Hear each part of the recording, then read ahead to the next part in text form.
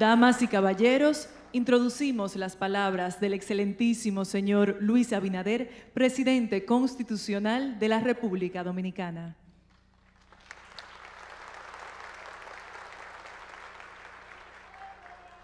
Muchas gracias, querido pueblo dominicano. Como le dije la primera vez que me dirigí a ustedes como presidente de la República, este sería un gobierno transformador. Y sobre todo, un gobierno que tendría cuenta de manera permanente. No hace ni seis meses desde que informé sobre nuestras ejecutorias, como corresponde por ley, ante la Asamblea Nacional, pero además mi comunicación pública ante ustedes para explicar todo lo que hacemos es continua, pero en las condiciones de alta incertidumbre y con la promesa irrenunciable de ser un gobierno transparente, aquí estoy de nuevo. Aquí estoy de nuevo para hacer un balance de estos meses y de estos dos años de gobierno. Esa actitud es cambio. Y lo hago este 16 de agosto porque un día como hoy, hace 159 años, un grupo de patriotas encabezados por los comandantes Santiago Rodríguez, Benito Monción y José Cabrera iniciaron con el grito de Capotillo la gesta revolucionaria más importante de nuestra historia, a través de la cual reafirmaron la determinación del pueblo dominicano de mantenerse libre de toda dominación colonial. Este acontecimiento dio lugar a la guerra de la restauración, en la que hombres de la talla de los presidentes Pepillo Salcedo, Gaspar Polanco y Gregorio Luperón, alzaron su voz para decirle al mundo que estábamos preparados para dirigir nuestro propio destino, para protagonizar nuestra propia historia y conducirnos soberanamente como una más entre las naciones del mundo libre, sin tutelas ni injerencias, y solo con la voluntad popular y la fortaleza de nuestras instituciones que siempre deben responder a los intereses de los dominicanos. Cada día recuerdo por qué y para qué estoy aquí. Y siento la responsabilidad histórica que ustedes me han dado en estos tiempos difíciles. Un amigo, expresidente centroamericano, me dijo una vez que en el ejercicio de la presidencia los días son largos y los años cortos. No podría estar más de acuerdo con él. Que nuestro país ha cambiado, especialmente en algunas áreas, es ya un hecho. Y el cambio también consiste en explicar lo mucho que hemos logrado, pero también en reconocer con honestidad lo que aún no hemos podido conseguir, explicando las razones. Llegamos al gobierno en momentos muy complicados, todos ustedes lo saben, en medio de una pandemia, pero teníamos muy claros nuestros objetivos. Solo así pudimos desplegar el mayor plan de prevención y ataque contra el virus que ningún país de Latinoamérica pudo trazar y ejecutar. Invertimos desde el primer minuto todo el dinero necesario para atender las necesidades de la salud y también para asegurarnos una variedad y cantidad de vacunas que pocos países en el mundo tienen. Hoy, todos ustedes tienen acceso a cualquier vacuna que exista a un costo cero y tenemos uno de los índices de letalidad, transmisión y presión hospitalario más bajos del mundo. Al día de hoy, y lo digo con orgullo, la República Dominicana no mira lo que hacen otros, sino que nosotros explicamos al mundo cómo lo hemos hecho, haciendo que muchos países vean nuestro ejemplo y quieran replicarlo por su efectividad.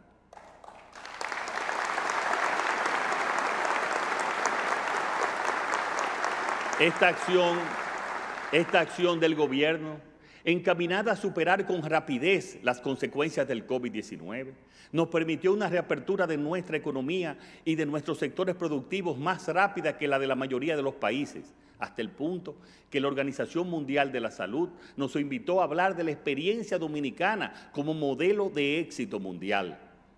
Tanto es así que nuestra economía creció a un ritmo de dos dígitos el año pasado y, se, y, sectores como el turismo o las zonas francas están en este momento en cifras récord desde hace meses. Esto es cambio.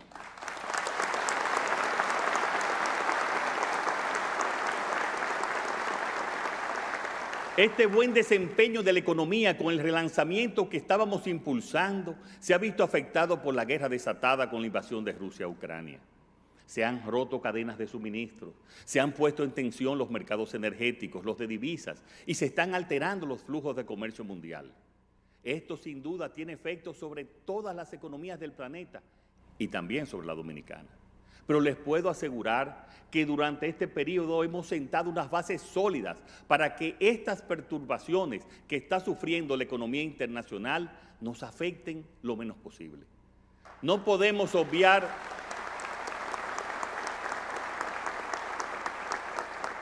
No podemos obviar que muchos de los problemas que hoy tenemos, como la inflación, que tanto afecta y preocupa al gobierno y al pueblo dominicano, son de carácter global y tienen causas ajenas a nuestro país. Aunque nosotros pongamos en marcha acciones para mitigarla en la medida de nuestras posibilidades. De esta manera hemos aprobado un paquete de medidas dedicado a enfrentar los niveles inflacionarios internacionales más altos de los últimos 14 años, desde que en el 2008 la inflación interanual en República Dominicana llegó al 14%. Desde que empezó la guerra, el gobierno ha desplegado un programa de subsidios para la protección de las clases trabajadoras, así como para los más vulnerables de 42.800 millones de pesos para los combustibles, pero también para el arroz,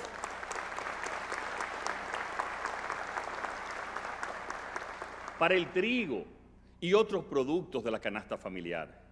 Para que se hagan una idea, con todo ese dinero que hemos invertido en subsidios, se podrían construir 400 kilómetros de carreteras. Nuestro plan nos ha llevado a subsidiar el 100% del alza de los combustibles. De no haberlo hecho, la inflación habría aumentado el 6% anual y hemos apostado decididamente por la producción agropecuaria nacional, subsidiando de forma directa los fertilizantes y otros componentes utilizados en la producción agrícola.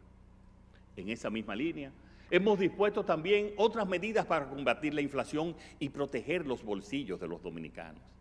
Entre ellas está el aumento del subsidio directo al sector transporte para evitar el alza en los precios de los pasajes y el subsidio de hasta un 10% en las importaciones de maíz, trigo, soya o harina y la grasa vegetal, así como la aplicación durante seis meses del 0% a los aranceles de los productos más importantes de la canasta básica que momentáneamente la producción nacional no puede cubrir.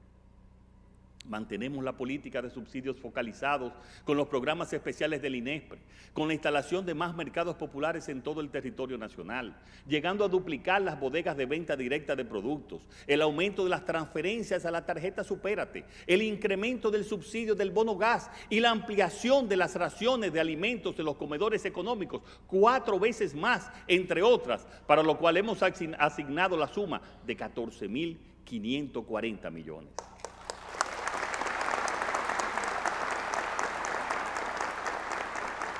En el marco de nuestra misión de proteger a los más vulnerables, a través del programa Supérate, con una inversión de más de 41.700 millones de pesos, ya vamos a terminar beneficiando a 1.650.000 familias, con el doble de lo que recibían antes de la pandemia. Algo sin precedentes en materia de protección social en nuestro país. El doble de personas y el doble en el monto de lo que recibían. Todo esto, y escuchen bien pueblo dominicano, todo esto lo hemos conseguido sin aumentar el peso de la deuda del sector público consolidado respecto a nuestro Producto Interno Bruto. Más aún, con una reducción de la deuda del sector público no financiero que ha bajado del 49.7 en agosto del 2020 a 47.5 este mes de junio.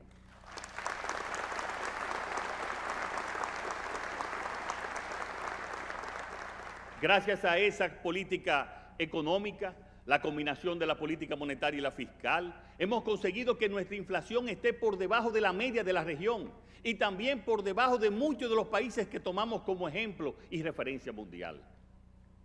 Hay, sí, problemas puntuales en nuestra economía, que son transitorios y a los que el gobierno atiende con medidas y presupuesto. Pero también contamos con fortalezas que debemos mencionar tenemos el nivel de reservas más alto de nuestra historia, con 14.500 millones de dólares.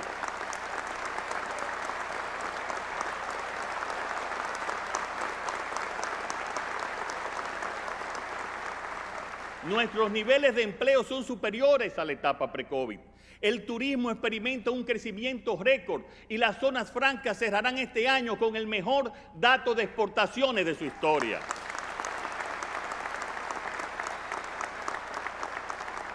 Este gobierno encontró la tasa de cambio a 59 pesos por el dólar y hoy está a 53.8, siendo República Dominicana uno de los pocos países del mundo que ha apreciado su moneda en todo este tiempo. Todo esto hace que hayamos crecido un 5.6% en el primer trimestre del año y se espera que la economía dominicana crezca, según datos del Fondo Monetario Internacional y las proyecciones del Banco Central de la República Dominicana para el 2022, entre un 5 y un 5.5%. Según las últimas estimaciones de la CEPAL, aún con el efecto adverso de la guerra, República Dominicana es el segundo país de Latinoamérica con mayor tasa de, crecimiento previsto para el año 2022. Eso es cambio.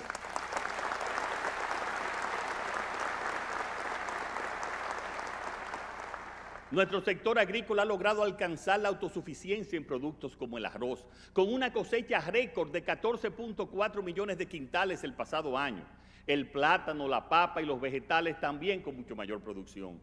Estos logros son el resultado de la política de financiamiento al sector agrícola, de subsidio a los insumos, de apoyo a la preparación de tierra gratuita, de suministro de semillas mejoradas, los programas de comercialización, mejoramiento de las infraestructuras de caminos, mantenimiento de sistemas de irrigación y el programa de titulación de tierra como parte de la atención que nuestro gobierno está poniendo en el campo dominicano.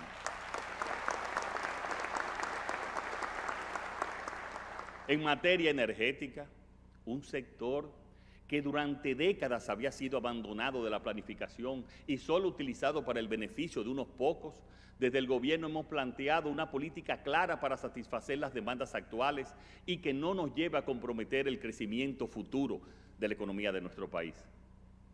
En cuanto a la generación eléctrica, hemos autorizado la mayor expansión de energías renovables de nuestra historia con un aumento de 692 nuevos megavatios, distribuidos en 12 proyectos en diferentes regiones del país, de los cuales unos 250 megawatts están ya en operación y el resto se estima que estarán en línea a finales del 2023. En resumen, Hemos otorgado concesiones y contratos para la construcción de instalaciones de, electricidad solar fotovoltaica por una capacidad cuatro veces mayor que los apenas 162 megavatios encontrados en agosto del 2020. Para asegurar el abastecimiento presente y futuro de energía eléctrica, hemos realizado dos licitaciones y tenemos una tercera en proceso. Una de las licitaciones fue de urgencia, de 400 megavatios, que estará generando a partir de septiembre de este año. Y la segunda de 800 megavatios en Manzanillo, Montecristi, e incluye la construcción de la primera terminal de almacenamiento y distribución de gas natural en la región norte del país. La que se encuentra en proceso de licitación añadirá cuando se culmine otros 800 megavatios más a la red. En, su, en suma, escuchen bien, en pocos años el país contará con 2.000 nuevos megavatios de potencia, firme aparte de los renovables solar, eólica, biomasa e hidráulica. Nos encaminamos a convertirnos en una verdadera potencia regional en términos de capacidad de generación eléctrica moderna y diversificada. Eso es cambio.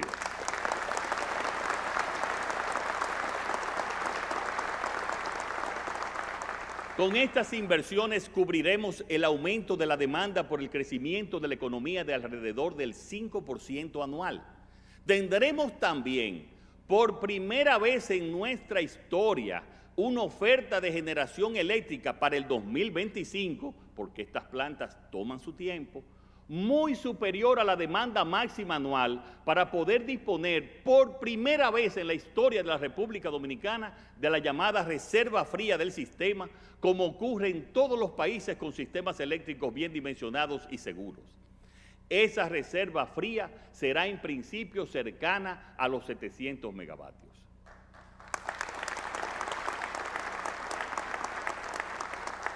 Vamos a hablar ahora de distribución en la energía eléctrica. Un problema que llevaba más de 20 años sin ser abordado de manera responsable y planificada es la situación de las redes e infraestructura general de distribución eléctrica. En el pasado se invirtieron miles de millones de pesos en las compras de medidores y transformadores de redes, cables y accesorios, pero desgraciadamente no hay constancia de que la mayor parte de tales materiales y equipos hayan entrado a los inventarios de las empresas distribuidoras, razón por la cual ya hay una investigación a cargo del Ministerio Público sobre las gestiones pasadas de las distribuidoras. para resolver de una vez por todas esa extrema fragilidad del sistema de distribución, y les dije que venía aquí a hablar la verdad, se necesita una inversión de aproximadamente 1.200 millones de dólares en un periodo de dos años. Ese plan de inversión estaba previsto iniciar en este 2022 en el presupuesto, pero la brusca y sostenida alza de los precios de los combustibles de generación eléctrica agravada además por la guerra entre Rusia y Ucrania, elevaron los precios de la energía y aumentaron a niveles sin precedentes el déficit entre compra y venta de energía de las empresas distribuidoras, lo que obligará al gobierno a destinar cerca de 700 millones de dólares adicionales a lo largo de este año para absorber el alza del precio de la energía y proteger a la población y a las pequeñas y medianas empresas.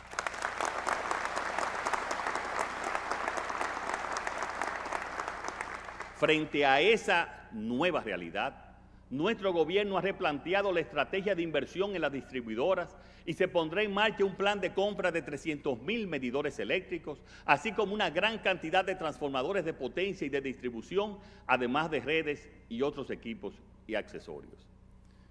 Y si nuestra sostenibilidad energética es importante, también lo es la de nuestros recursos hídricos.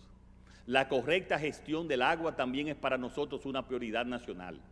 Y por eso quiero recordarles al país que el pasado 14 de junio del 2021 convocamos al país a trabajar conjuntamente en la, elaboración de una propuesta que nos conduzca hacia un pacto nacional por el agua hasta el año 2036.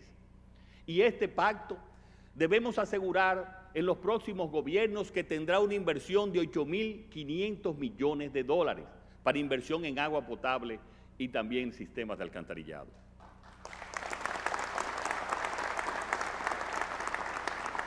Pero ya este gobierno, cumpliendo con su responsabilidad, nos hemos adelantado en cuanto a inversión y estamos ejecutando la construcción de los acueductos de San José de Ocoa, Sabana Larga, Cabo Rojo, Pedernales, el de Miches, Zona Hotelera, el de Jaina y Villa Altagracia, entre muchos otros, así como los alcantarillados de Mao, Juan Dolio, Guayacanes, Villarriba, Castillo, Pimentel y las matas de Farfán, entre otros, beneficiando a más de 1.800.000 dominicanos.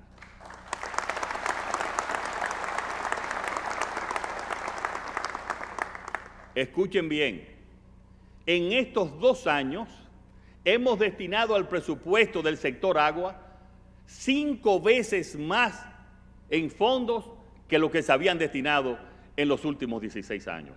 Y por eso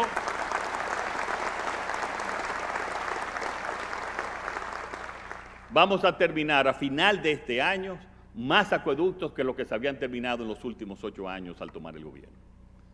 Y en este mes de octubre iniciamos también, desde aquí de Santiago lo, anuncio, la construcción del tan esperado acueducto de Navarrete, garantizando agua potable para los próximos 30 años a todas esas comunidades. Además, la Corporación de Acueducto y Alcantarillado de Santo Domingo, CAS, está acondicionando una suma sin precedentes de 40 kilómetros de cañadas en el Gran Santo Domingo para contribuir al saneamiento ambiental y mejorar la calidad de vida de la gente. En este momento, el Instituto Nacional de Acueductos y Alcantarillado, INAPA, está realizando el saneamiento de Arroyo Gurabo y su entorno, que impactará toda la provincia de Santiago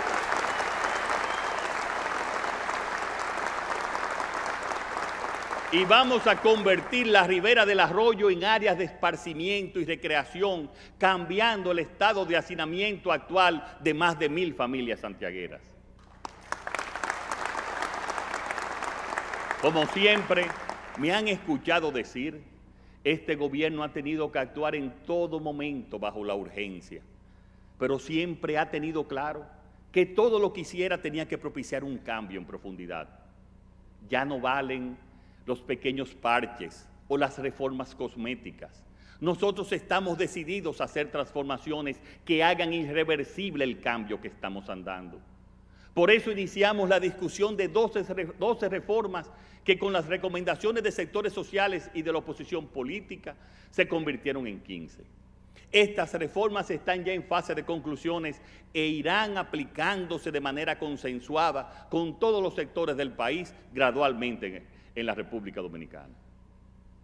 Leyes que tenían décadas sin ser aprobadas, como la ley de extinción de dominio, la ley que prohíbe el matrimonio infantil, la ley de aduanas o la ley de desarrollo fronterizo, por fin se han aprobado. En los próximos días remitiremos al Congreso la ley contra la trata y tráfico ilícito de migrantes.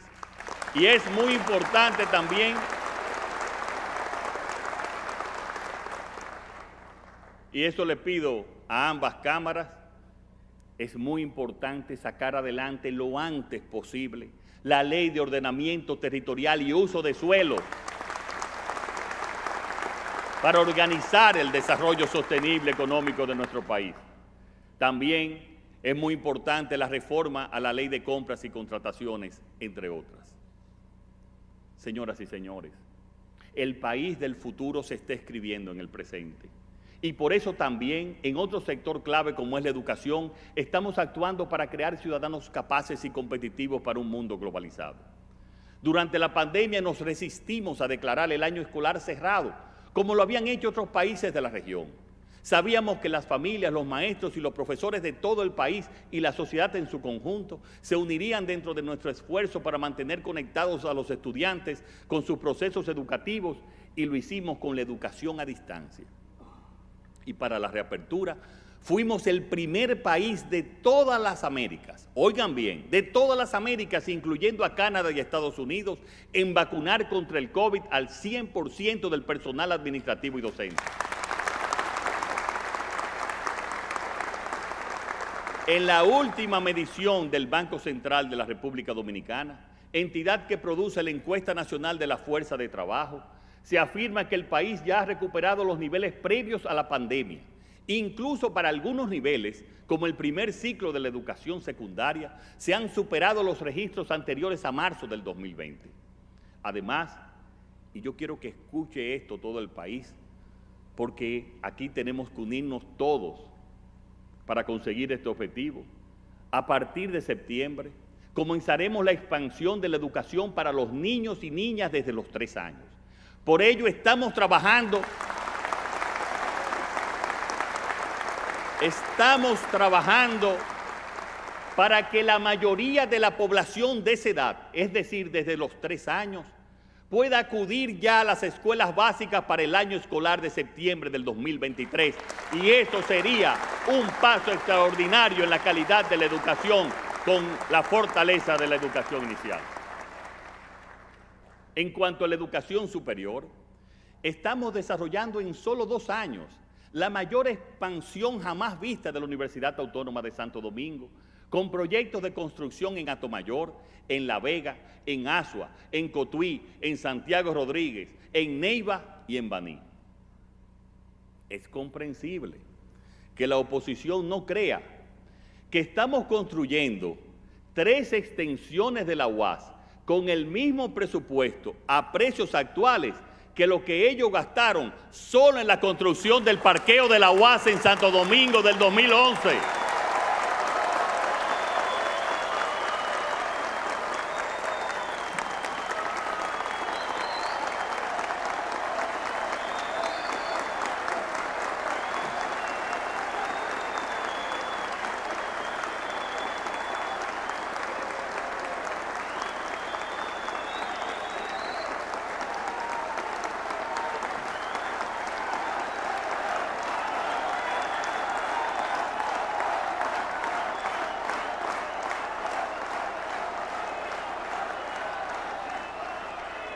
Tres extensiones versus un parqueo en la UAS.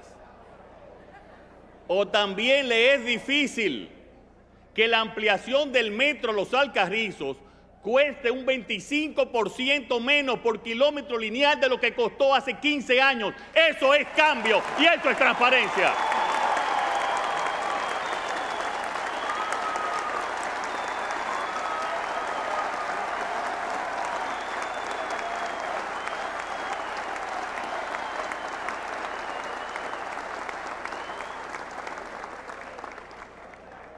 También hemos otorgado, gracias a la renegociación con las universidades, un 20% más de becas nacionales e internacionales con el mismo presupuesto que teníamos hasta alcanzar más de 20 mil becas estos dos años. Además, este año logramos que el Consejo de Educación Médica de los Estados Unidos homologara los títulos de nuestras 11 facultades de medicina. Eso supone un importante reconocimiento para nuestros médicos y llevará a que jóvenes de cualquier parte del mundo puedan venir a estudiar medicina a República Dominicana con préstamos federales.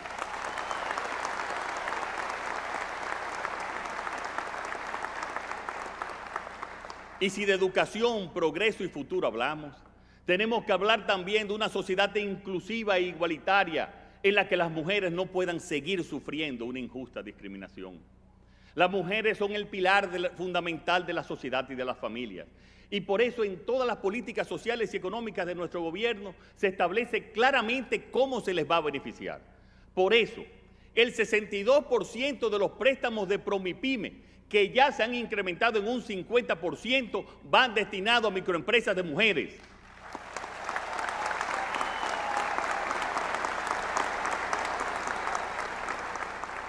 Y de los más de 26 mil títulos de propiedad que ya hemos entregado, el 65% han sido mujeres. En estos dos años de gestión hemos aumentado significativamente los fondos dedicados a la lucha por la igualdad, duplicando el presupuesto del Ministerio de la Mujer y hemos inyectado recursos para dar apoyo económico a las víctimas de violencia de género intrafamiliar. Y por primera vez estamos también atendiendo a los niñas y niñas que han quedado huérfanos por feminicidios. Se ha continuado con la campaña Vivir sin violencia es posible alcanzando a más de 815 mil personas con mensajes puerta a puerta y se ha ampliado la cobertura de servicios de asistencia legal y psicológica para las mujeres víctimas de violencia, que cuentan hoy con 16 casas de acogida que están funcionando a toda capacidad versus tres que encontramos cuando llegamos al gobierno. A la fecha, Casi 2.700 mujeres y sus hijos e hijas están siendo atendidas y protegidas, al igual que 140 mujeres víctimas de trata y tráfico. Sé, pueblo dominicano, que los cambios en algunos de los casos son más lentos de lo que nos gustaría. Pero también les digo con el corazón en la mano que las circunstancias no nos permiten ir más rápido. En materia deportiva, también hemos experimentado un gran avance. Entre otras muchas acciones, hemos procedido al rescate y rehabilitación de instalaciones deportivas hasta 1.238 en todo el país. Y nuestros deportistas han logrado excelentes resultados en distintas competiciones internacionales con una actuación sin precedentes en los Juegos Olímpicos, en los que obtuvieron cinco medallas por primera vez en nuestra historia. En estos casi dos años, hemos puesto en marcha más reformas y más cambios que en los últimos 20.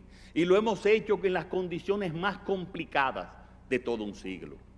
Una de las reformas más importantes que estamos realizando es la de la Policía Nacional, que ya se está implementando por fases, por fases y que culminaremos cueste lo que cueste.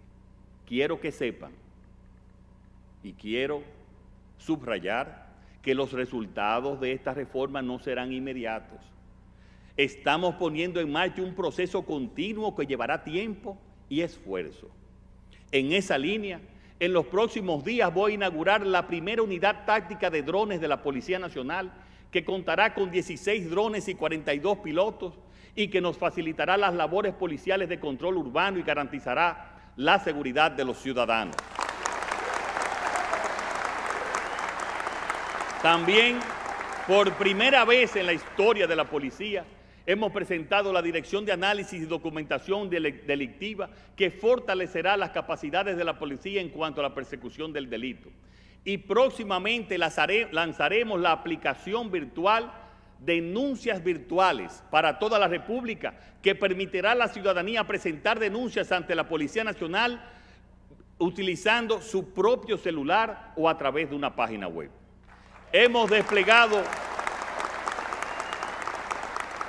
y potenciado proyectos como la Estrategia Integral de Seguridad Mi País Seguro, que ya estamos reforzando con la disposición reciente de las acciones coordinadas y el patrullaje mixto en todo el territorio nacional, de los efectivos de la Policía Nacional y de las Fuerzas Armadas, y por primera vez, por primera vez, habrá en nuestro país un amplio programa de formación especializada para los policías de educación continua. Y en vez de tres meses que, tenían en las academias de formación, ahora se van a formar un año antes de, ir a las calles los nuevos policías.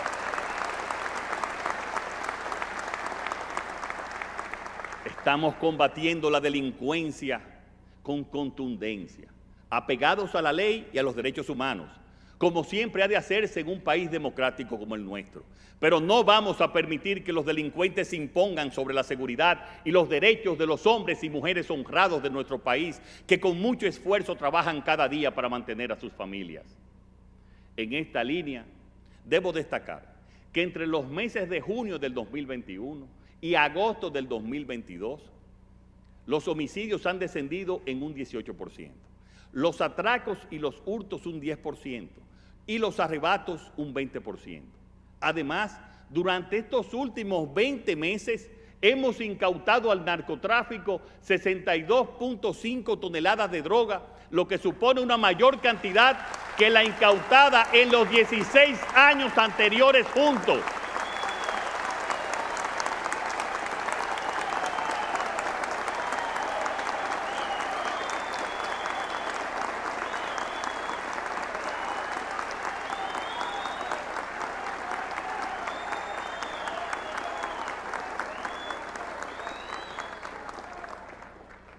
nos queda, nos queda mucho camino por recorrer, pero les puedo asegurar que sabemos dónde está la meta y que no hay nada ni nadie que nos vaya a apartar de ella. Queridos conciudadanos, hoy la sociedad sabe que en este país ya no hay nadie que escape al imperio de la ley y nadie es nadie.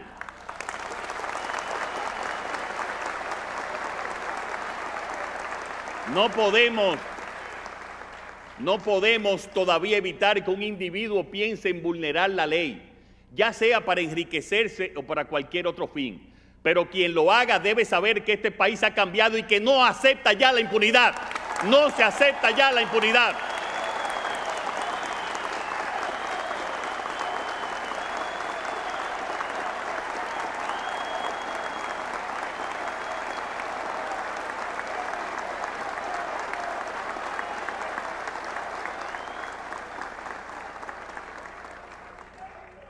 Todos ustedes y a todo el pueblo dominicano les pido que continúen ayudándome a combatirla.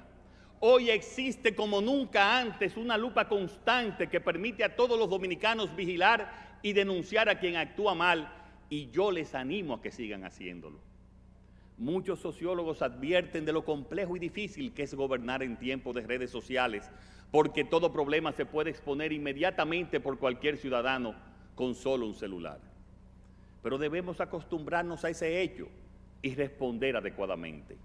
Siempre hemos demandado un ministerio público y una justicia independiente y hoy ya son un hecho.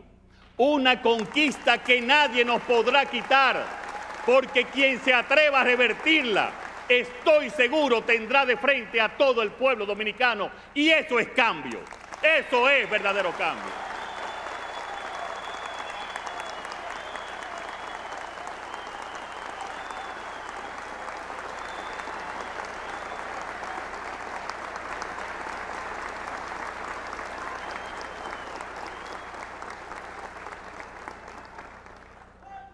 Amigas y amigos, el desarrollo de la República Dominicana se está dando en todos los frentes, pero también en todo el territorio nacional. Nuestros planes de infraestructuras, diseñados para generar una geografía de oportunidades en todo el territorio, se centran en sacar las potencialidades que este país tiene y que muchas veces han sido desatendidas. En este momento el Ministerio de Obras Públicas y Comunicaciones tiene en ejecución más de 500 obras por un monto de 86 mil millones de pesos y ha concluido 87 con una inversión de 15 mil 400 millones. Estamos realizando la más importante intervención de la autopista Duarte en distintos puntos que incluyen la ampliación desde el kilómetro 9 de 6 a 14 carriles y el reasfaltado de la autopista desde el kilómetro 9 hasta Santiago y desde Santiago a Montecristi para convertir la principal vía troncal del país en una segura y moderna autopista. Entre las obras en construcción de mayor impacto regional tenemos nueve circunvalaciones en construcción. La de Asua, Baní, Circuito 3, Santo Domingo, Moca, San Francisco, Santiago, Los Alcarrizos y el Malecón de Nagua. En el Gran Santo Domingo, entre las obras más importantes, está la construcción de la avenida Hípica, la avenida San Isidro, la ecológica desde Ciudad Juan Bosch hasta la avenida Juan Pablo II, autopista del Nordeste y el elevado de Andrés. Todas estas obras terminarán al primer trimestre del próximo año. En cuanto a obras de transporte masivo, estamos construyendo la expansión de las líneas 1 y 2 del metro en Santo Domingo y en los Alcarrizos la extensión del metro y el teleférico. El teleférico de los Alcarrizos estará listo para finales de este año. La presa de Montegrande, la presa de Montegrande, como le llaman nuestros amigos obispos, el metro del sur, está ya avanzada en un 80%. Esta obra fue iniciada con un primer Picasso en julio del 2010 pero que realmente comenzó a construirse en el 2013 y hasta el 2020, hasta agosto del 2020, solo había avanzado en un 41%. Hoy hemos avanzado y está en un 80% de construcción la presa de Montegrande.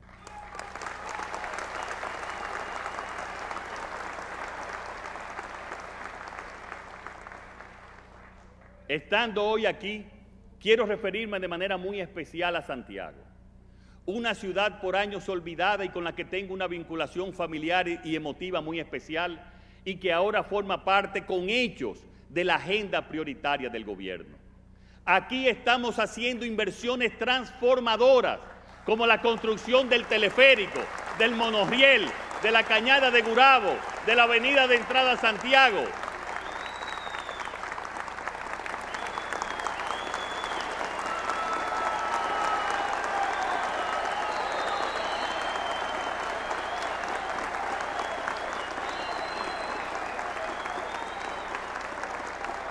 Y en las próximas semanas debe de adjudicarse también para la construcción de la circunvalación de Navarrete, que ya está presupuestada, así como también la carretera, la carretera Santiago, la ampliación de la carretera Santiago Licey, entre otras, porque estamos comprometidos con el progreso y el bienestar de esta ciudad y con devolverle lo que por justicia se merece de acuerdo con su aporte a la economía nacional.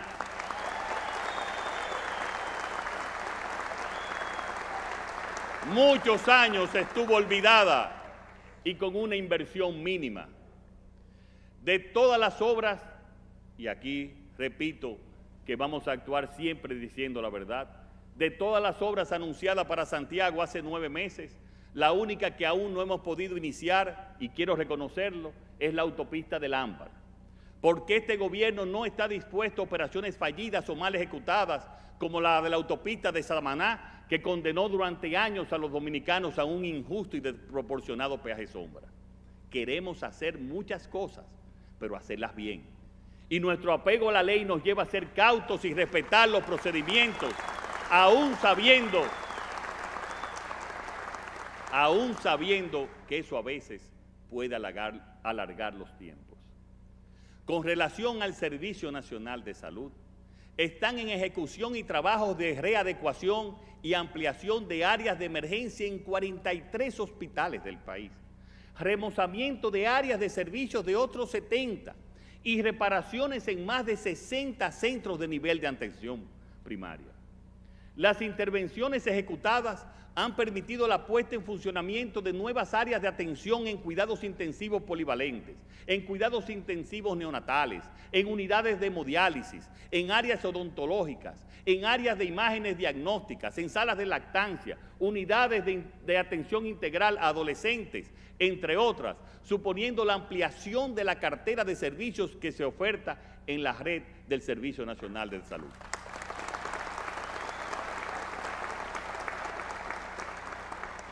Y es bueno informar y aclarar esto. Hemos duplicado el presupuesto dedicado al programa de medicamentos de alto costo hasta los 7.300 millones de pesos, duplicando también el número de beneficiarios. Eso creó al principio una distorsión debido a los problemas de logística internacional en tema de la oferta y demanda de los medicamentos. Respecto al año 2021, nuestro Servicio Nacional de Salud ha experimentado un aumento del 26% en consultas ambulatorias, 21% en pruebas de laboratorio, 24% en imágenes diagnósticas, 8% en procedimientos quirúrgicos, 13% en hospitalización y 14% en emergencias. La producción de servicios de imágenes y laboratorios también se han incrementado significativamente. Y si comparamos enero-julio del 2019 frente al mismo periodo del 2022, los estudios de imágenes aumentaron de 1.4 a más de 1.7 millones de personas y las pruebas de laboratorio de 10.1 a 12.2 millones. En este tiempo, también hemos implantado el plan tolerancia cero a la mortalidad materna, alcanzando una reducción de madres fallecidas en hospitales de un 41.9% al mes de junio con relación al mismo periodo del año 2021.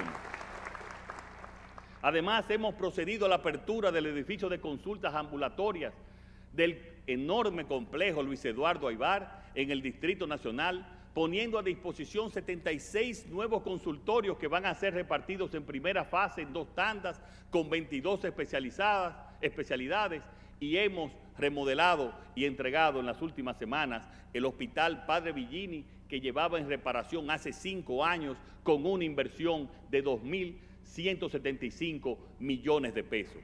En salud también hay cambio. Amigos y amigas, en esta rendición de cuentas, en el capítulo de las inversiones y los programas, no puedo dejar de referirme a varios proyectos transformadores en diferentes regiones del país y que los gobiernos anteriores anunciaron muchas veces y nunca pudieron realizar, como el proyecto de Pedernales, que nos permitirá tener uno de los polos turísticos más importantes de la región en los próximos años y del que hace meses hemos comenzado las obras ya de infraestructura.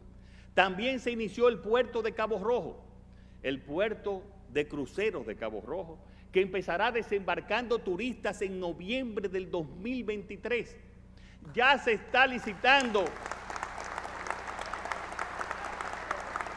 ya se está licitando la construcción del primer hotel y mensualmente se subirán las licitaciones de todos los hoteles que en la primera fase del desarrollo serán 11 y donde están involucradas las principales cadenas hoteleras internacionales. Ya casi están listos los diseños del aeropuerto también para subirse a licitación para construcción. Pero en igual estatus se encuentra el proyecto de Manzanillo, licitado y adjudicada la mayor planta de generación, como dije anteriormente, eléctrica del país, con su depósito de combustible que dará una gran seguridad energética a la región norte. Además está adjudicado también el proyecto de astilleros de barcos que creará más de 400 empleos directos y está en licitación por el Banco Interamericano de Desarrollo el nuevo muelle. De menor tamaño, pero con el mismo ímpetu también van a comenzar los trabajos del proyecto Bergantín en Puerto Plata en las próximas semanas, después de más de un año de diseños y aprobaciones. Estos proyectos, como dije en el caso de Pedernales, que en cinco años Pedernales va a cambiar, que en diez años va a estar irreconocible y que en 20 años será un ejemplo de desarrollo de toda la región sur. Estos proyectos serán un ejemplo mundial que todos podremos ver e impactarán de forma importante en la vida de miles de dominicanas y dominicanos. Cambiarán definitivamente el rostro de todo el país y traerán miles de empleos directos e indirectos, dinamizando las economías locales y aportando gran crecimiento económico. Junto,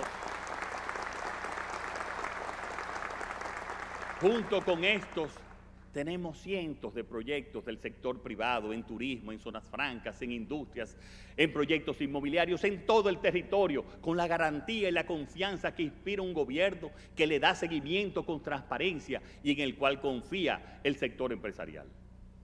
Pero para potenciar nuestra economía, también es necesario fortalecer nuestros lazos diplomáticos a través de nuestra política exterior por primera vez en el ámbito internacional, estamos tomando la iniciativa con medidas audaces, como la creación el pasado mes de septiembre de la Alianza para el Desarrollo en Democracia, ADD, fundada conjuntamente por Costa Rica, Panamá y República Dominicana, con el objetivo de buscar el desarrollo a través de procesos transparentes y respetuosos con los derechos humanos. Esta alianza centrada en la cooperación, el comercio y la búsqueda de inversiones, se ha reunido ya en cuatro ocasiones y volverá a hacerlo este mes de septiembre en Nueva York para celebrar su primer aniversario. Su impacto ha sido tal que en su última cumbre en Los Ángeles, Ecuador solicitó unirse y la Unión Europea y Canadá han pedido ser observadores para el futuro. Pero si República Dominicana tiene una preocupación internacional, es como saben la situación del país vecino de Haití, con quien el pasado año 2021 acordamos la construcción de una verja fronteriza que ordene nuestro comercio y nos ayude en el control de la inmigración y la lucha contra el tráfico de armas y de drogas y de otras formas de delincuencia. Puedo decir que las obras ya no solo han comenzado, sino que en este momento se encuentra, según lo previsto, en la primera fase de construcción de los 54 kilómetros iniciales. Pero hace dos días ya se subió la licitación para la segunda fase que va acompañada de una gran tecnología que va a proteger nuestra frontera. Como ven, como ven, la República Dominicana avanza en todos los frentes y se encuentra en pleno camino al desarrollo. Pueden estar seguros de que lograremos nuestros objetivos con esfuerzo y sorteando las dificultades. Hoy, República Dominicana es un oasis de paz y de progreso en una convulsionada Latinoamérica. Somos referentes de buen gobierno, del mejor manejo del COVID, de la mayor recuperación mundial del turismo, del mayor avance de las zonas francas, del mayor salto de fortalecimiento de nuestras instituciones y de lucha contra la corrupción.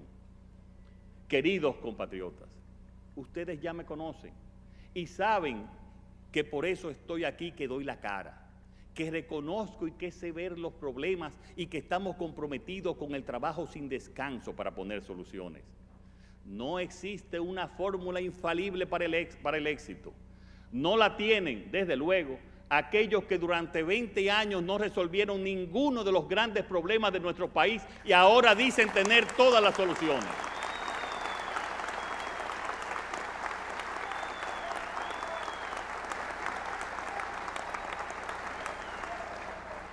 El momento es complicado.